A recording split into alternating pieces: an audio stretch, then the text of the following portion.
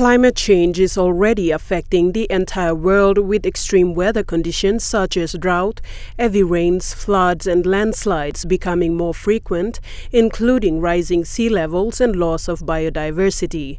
In order to limit global warming to 1.5 degrees Celsius, a target that was laid down in the Paris Agreement, signed by 195 countries, including PNG, whilst the government and other business organizations in the country focus on achieving this target by 2050, SP Brewery has aimed to be carbon neutral.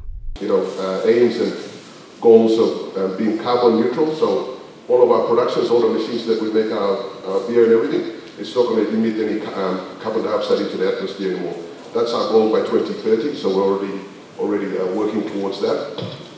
And then we'll be introducing like solar panels into the uh, into the brewery. So you know, we, we save on that. And then also we're investing in some wastewater treatment plant so that we treat our water before we discharge it into the municipal system. So protecting our environment is also really close to our heart, just like investing in, in our people, because at the end of the day, we can do everything, but if we don't have a safe, secure environment to live and operate in, our kids are not going to have a nice, bright future. Nilkare said this is an important step towards safeguarding the future generation of this country. Sharon Engnui, National MTV News.